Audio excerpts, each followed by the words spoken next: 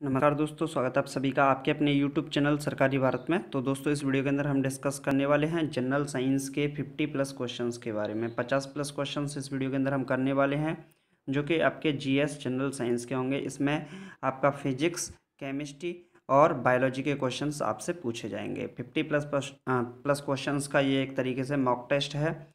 और आपको बता दूँ, इस चैनल पर हिस्ट्री, पॉलिटी जोग्राफ़ी और जीके के सुपर वन थाउज़ेंड क्वेश्चन की सीरीज़, जीएस की क्लास, जीके की ट्रिक की क्लास, ये सभी क्लासेस इस चैनल पर डेली चलती हैं और इनकी पीडीएफ, इन सभी क्लासेस की पीडीएफ हमारे व्हाट्सएप ग्रुप में प्रोवाइड करवा दी जाती हैं, जिसका लिंक डिस्क्रिप्शन में दे रखा है।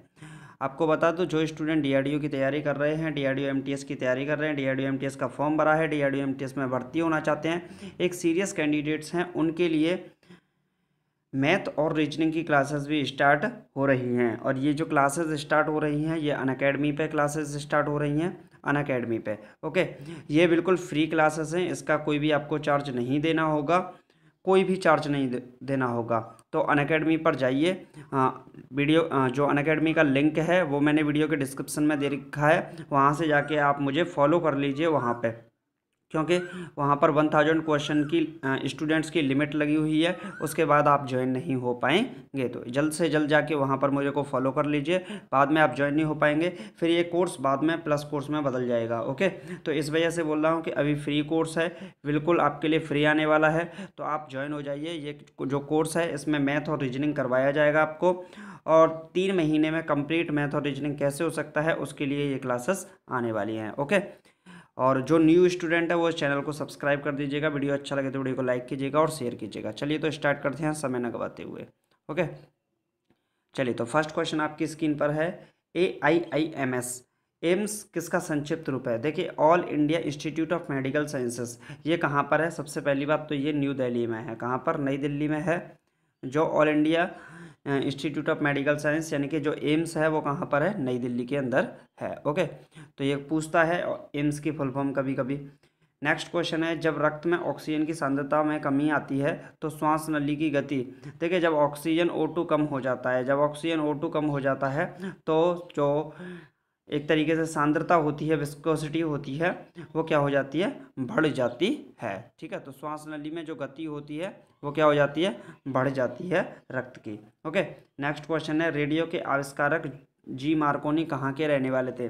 देखिए, रेडियो का आविष्कार किया था जी मार्कोनी ने। ओके? ये इटली के रहने वाले थे। कहाँ के? इटली के रहने वाले थे। नेक्स्ट क्वेश्चन है माइक्रोबायोलॉजी संबंधित है। जो माइक्रोबायोलॉजी होती है, ये अति सूक्ष्म जीवों के अध्ययन से संबंधित होती है। स्टडी ऑफ़ स्मॉल स्मॉल जो कीट्स होते हैं, उनसे संबंधित होती है। ओके नेक्स्ट क्वेश्चन है, शराब का अत्यधिक सेवन करने से मानव शरीर, मानव के किस अंग की क्षति होती है? देखिए, जो अत्यधिक शराब पीता है, ऐसे व्यक्ति में विटामिन सी की कमी हो जाती है। फ़र्स्ट पॉइंट तो ये है। किसकी विटामिन सी की कमी हो जाती है?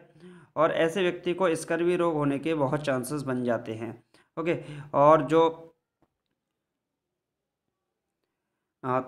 अत्यधिक सेवन से किस अंग की क्षति होने लगती है तो यकृत यानी कि जो लीवर है, वो लीवर खराब होने लगता होगा।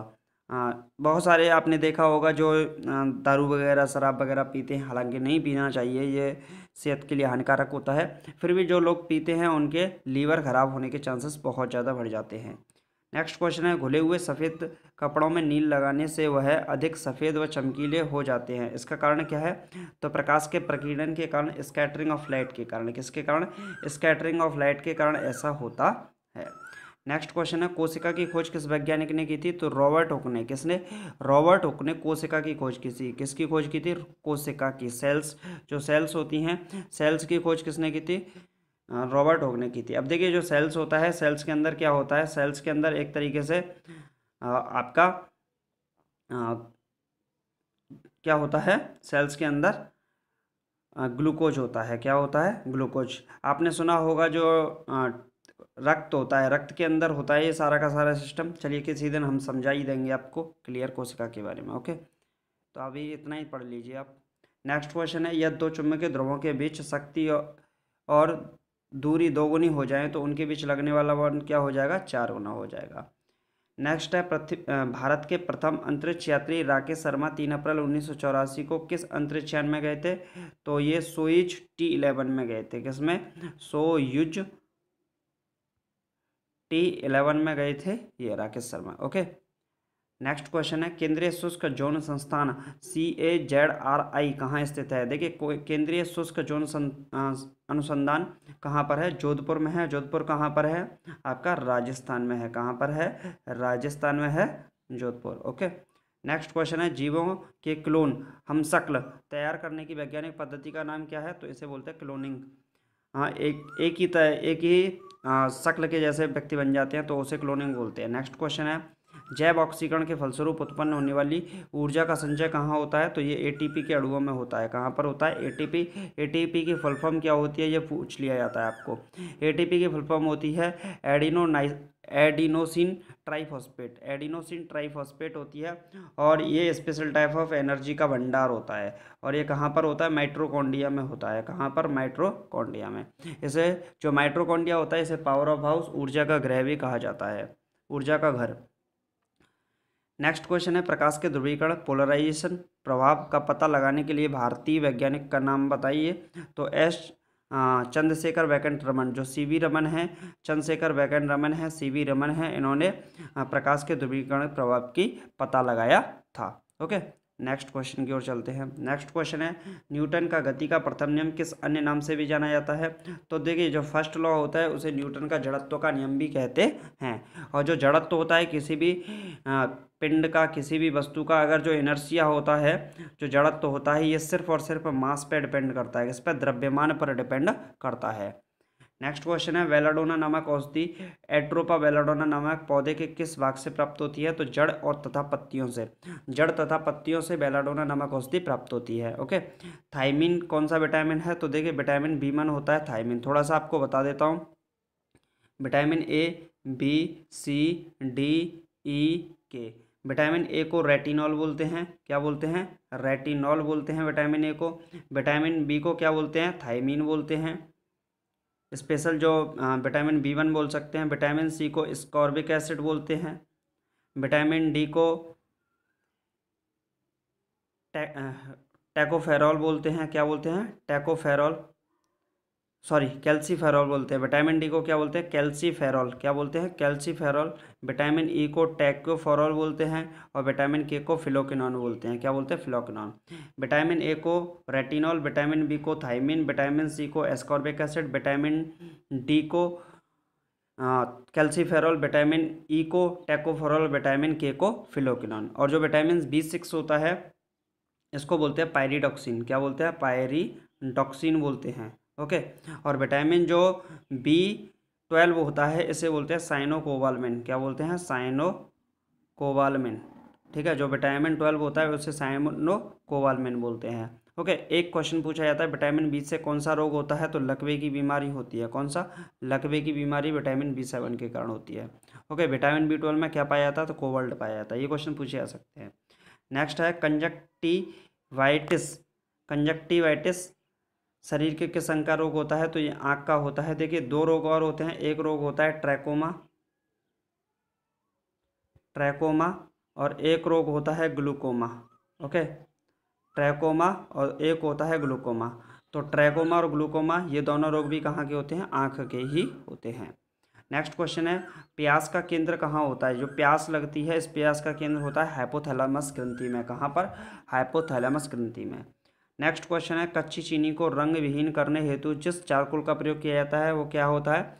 एनिमल चारकोल होता है। जो कच्ची चीनी होती है, ये थोड़ा सा ब्लैक ब्लैक कलर में होती है और ब्लैक और पीले कलर में होती है, लेकिन इसके अंदर मिला दिया जाता है एनिमल चारकोल। क्या मिलाया जाता है? एनिमल चारकोल मिलाया जाता है, जिससे इसको रंग विहीन कर दिया जाता है।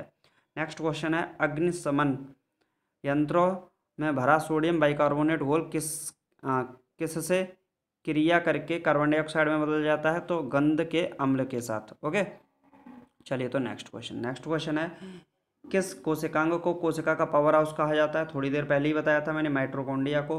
नेक्स्ट क्वेश्चन है होमोसेपियंस किस जीव का वैज्ञानिक नाम है? तो मनुष्य को बोलते हैं homo sapiens okay next question है हाइड्रोपोनिक्स किससे कहते हैं? तो पौधों की मृदा विहीन संवर्धन, जलीय माध्यम में पौधों के उगने को क्या बोलते हैं? हाइड्रोपोनिक्स बोला जाता है। नेक्स्ट क्वेश्चन है रिकेट्स रोग किस विटामिन की कमी के कारण होता है? तो देखिए विटामिन डी की कमी के कारण क्या होता है? रिकेट्स रोग होता है। ओके नेक्स्ट क्वेश्चन है ज्योति फ्लक्स का मात्रक क्या होता है? तो ज्योति फ्लक्स का मात्रक ल्यूमेन होता है। गैस नियतांक आर का मात्रक क्या होता है? जूल प्रति कैल्विन मोल होता है। कार्बोनिल, कार्बोनिक अम्ल का रासायनिक नाम क्या होता है? तो फिनॉल होता है। कार्नेलाइट किसका खनिज होता है? तो मैग्नीशियम का। मैग्नीशियम का जो खनिज होता है, वो क्या होता है? कार्नेलाइट होता है। ओके चलिए तो नेक्स्ट रॉकेट के उड़ने के सिद्धांत भौतिकी किस संरक्षण पर निर्भर करता है? तो रेखीय संवेग संरक्षण, प्रणोद और न्यूटन के गति के तीसरे नियम, तीनों पर निर्भर करता है। नेक्स्ट है अपना ग्रहों की गति से संबंधित कैपलर एरियल वेग के नियत रहने का नियम भौतिकी की किस राशि के संरक्षण पर निर्भर करता है? तो कोणीय संवेग संरक्षण पर निर्भर करता है। नेक्स्ट क्वेश्चन है, कौन सा यौगिक ऑयल ऑफ़ विंटर ग्रीन के नाम से जाना जाता है? तो मिथाइल सैलिस सैलिसिलेट जो मिथाइल सैलिसिलेट होता है मिथाइल सैलिसिलेट होता है, इसे ऑयल ऑफ़ विंटर ग्रीन कहा जाता है। क्या कहा जाता है? Oil of wintergreen methyl salicylate next question है, शनिवार किसका प्रमुख अयस्क होता है? तो जो पारा होता है, पारे का प्रमुख अयस्क होता है शनिवार। कीमोथेरेपी क्या होती है? तो रासायनिक पदार्थों के उपयोग से रोग की चिकित्सा में किया जाता है कीमोथेरेपी यदि दूरस्थ वस्तु से आने वाली किरणों को रेटिना से आगे फोकसित हो जाती हैं तो दृष्टि में कौन सा दोष कहा जाता है? तो निकट दृष्टि दोष कहा जाता है, यानी कि मायोपिया कहा जाता है।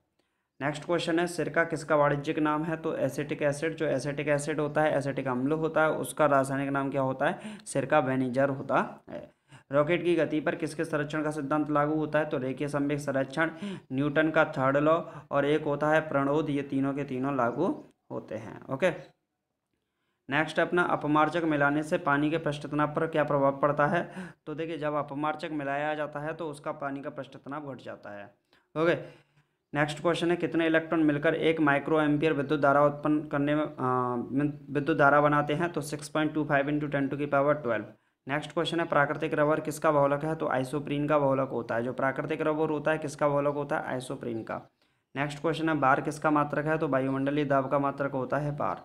गैलेना किसका अयस्क है? तो गैलेना सीसा का अयस्क होता है किसका? शीशे का। शीशे का अयस्क होता है, लेड का अयस्क होता है गैलेना।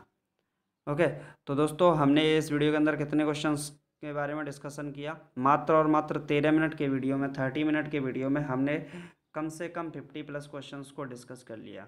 अगर आपको वीडियो अच्छा लगा तो वीडियो को सबसे पहले लाइक कीजिएगा। और अपने दोस्तों के साथ शेयर कीजिएगा। और चैनल पर नए हैं तो चैनल को सब्सक्राइब कर दीजिएगा। फिर से मैं आपको बताऊँगा मैथ और रीजनिंग के लिए आपके लिए क्लासेस स्टार्ट हो गई हैं। और ये जो क्लासेस हैं, ये आपके लिए अन अकेडमी पर स्टार्ट हुई हैं। तो अन अकेडमी का मेरा लिंक दे रखा है डिस्क्रिप्शन में। वहाँ से जाके आप मुझे फॉलो कर लीजिए। वन थाउज़ेंड स्टूडेंट की लिमिट है, बाद में आप फॉलो नहीं कर पाओगे। ओके या फिर वहाँ पर जाके आप Shubham Dixit S H U B H M D I X I T S H U B H M D I X I T, Shubham Dixit, वहाँ पर सर्च कीजिए। तो वहाँ पर मेरे अस्सी के करीब फॉलोअर हैं तो वहाँ पर जाकर फॉलो कर लीजिए। तो उम्मीद है आपको सब कुछ अच्छा लगा होगा। मिलते हैं हिस्ट्री की क्लास में। Thank you thank you for watching this video जय हिंद, जय भारत।